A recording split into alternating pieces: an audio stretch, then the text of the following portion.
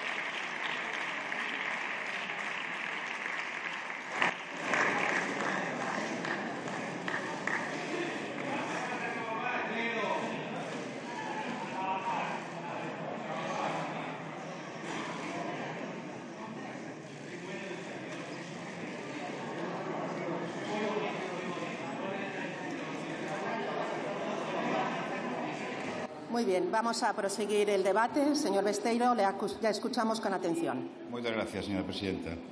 Decía, facer, en definitiva, que este Parlamento se parezca máis ao país que representa.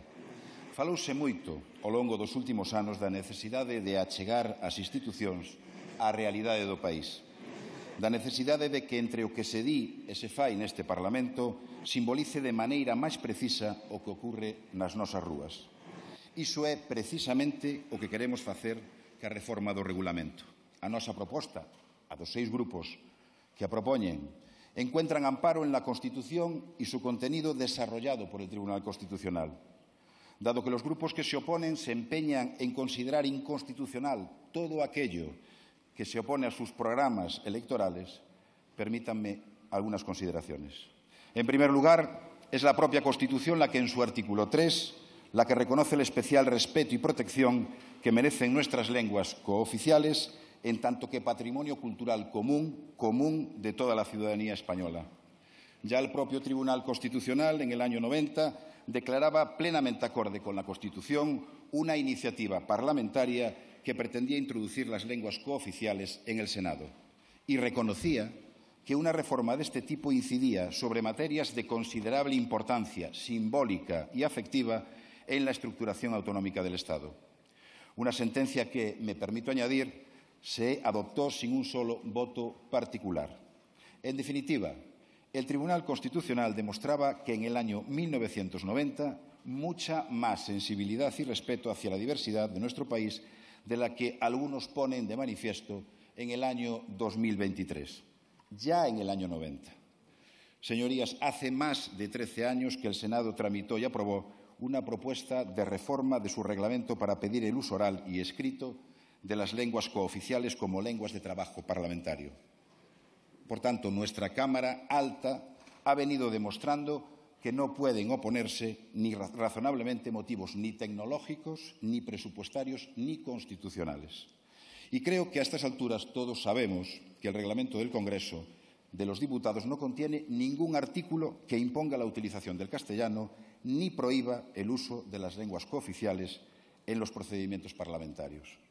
Resumiendo, nuestra Constitución lo establece. El Tribunal Constitucional ha configurado este derecho y las Cortes en el Senado ya plasman su ejercicio. Si no hay normas que lo impidan, es imposible dar con razones de índole constitucional o legal que justifiquen que el rechazo a la proposición que comenzamos a tramitar en este momento. Esta reforma non é algo illado, senón que forma parte dun recoñecemento máis amplo, como pon de manifesto a proposta do Goberno de incorporar as nosas linguas cooficiais como linguas de traballo nos órganos da Unión Europea. Por certo, a diversidade lingüística está normalizada na práctica parlamentaria en países como Bélxica, Canadá ou Suiza. Señorías, non busquen excusas. É posible e é constitucional. E quen se opón a isto non é por outra razón que a de opoñerse a que no Congreso se falen as linguas que a diario falan na ciudadanía. Chegou, por tanto, o momento de poñer fin a esta indefinición regulamentaria e incorporar á práctica desta Cámara o plurilingüismo, que xa está asumido con plena naturalidade nos parlamentos autonómicos e na outra Cámara. Quiero subrayar la especial trascendencia de la propuesta al incluir el mandato para la adopción del reglamento, la adaptación, perdón, del reglamento al lenguaje inclusivo de género. Este Congreso no puede demorarlo por más tiempo. Creo que todas y todos somos conscientes de que una reforma como la que propugnamos en el día de hoy, a pesar de la relativa simplicidad de su redacción, traerá consigo transformaciones en el funcionamiento del día a día de esta Cámara. Es por ello que quiero agradecer desde el primer momento al personal del Congreso, en nombre del Grupo Socialista, su esfuerzo y dedicación en esta tarea.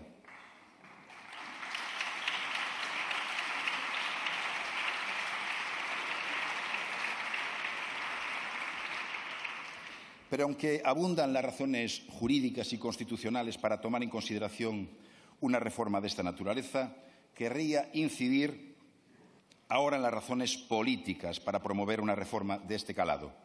El reconocimiento del uso normal de las lenguas cooficiales en el Congreso de los Diputados no solo es posible desde el punto de vista técnico, también es una superación de una cierta anomalía histórica. ¿De verdad no merece la pena el esfuerzo de adaptarnos en el Congreso al plurilingüismo que el mismo Tribunal Constitucional defiende que es una riqueza cultural que debemos preservar solo por evitarnos un pinganillo? Mi grupo piensa que merece la pena, que tenemos que avanzar. Este Parlamento es lo suficientemente grande para que en él quepan todas las lenguas y, sobre todo, pensamos que la diversidad no va en detrimento de la unidad, que la uniformidad no garantiza la cohesión. Los símbolos importan y mucho.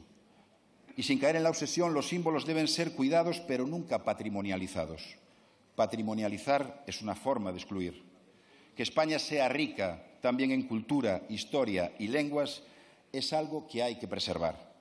Que la sede de la soberanía se exprese en todo su potencial lingüístico es un símbolo de unión. Sí, señorías, de unión en la diversidad. Teño a sorte de pensar en varios idiomas, de vivir desde que teño uso de razón así, sin ter que elexir, ensanchar libertades, Vivir desde o respeto é o maior compromiso persoal ético co que quero pensar estamos comprometidas a inmensa maioría das persoas que conformamos esta Cámara.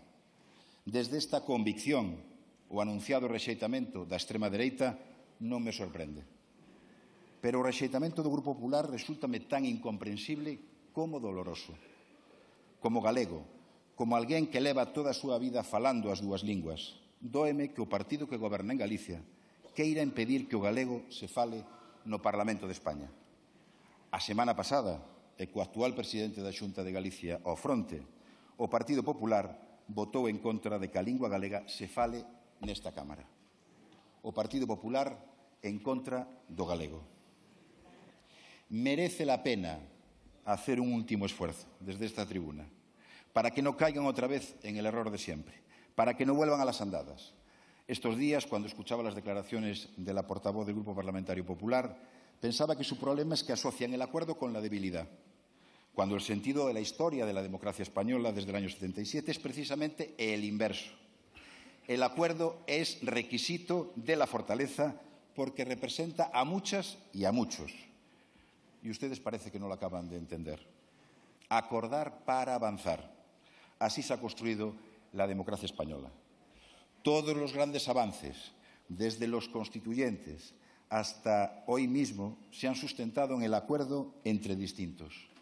Desde la propia Constitución hasta las grandes leyes que han situado a nuestro país en la modernidad, se han basado en el acuerdo y lamento decir que muchas de ellas no han contado con el apoyo del Partido Popular o de sus inmediatos antecedentes el rechazo al título octavo, las leyes del divorcio, el derecho a las mujeres a la interrupción voluntaria del embarazo, el matrimonio igualitario, prácticamente todas han contado con su oposición.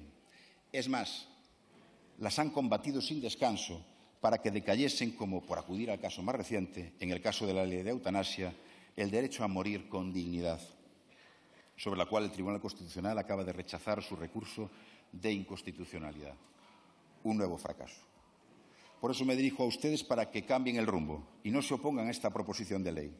No persistan en el error. El Grupo Parlamentario Socialista trae, junto con la mayoría de los grupos parlamentarios de esta Cámara, esta proposición de ley porque estamos convencidos de que el Congreso debe incorporar en su funcionamiento las lenguas que son comunes a gran parte de la ciudadanía. Mientras uns se pechan en banda, tamén haberá quen diga que tempo houve nestas décadas de desenvolvemento constitucional para facelo antes. É certo, chegou o momento cando se reúnen todas as condicións para facelo. Pois ben, fagámolo entre todas e todos. Señorías, acordar para avanzar. Esa foi a nosa fortaleza, a de todas as persoas que formamos parte deste país desde a transición e durante estes anos de democracia. Acordar para avanzar. Dicía Castelao que a lingua é a gran obra de arte dun pobo. Fagamos que esa riqueza pertenza tamén ao patrimonio vivo das nosas Cortes Xerais. Moitas grazas, gracias, Euskar Gasco, moitas gracias.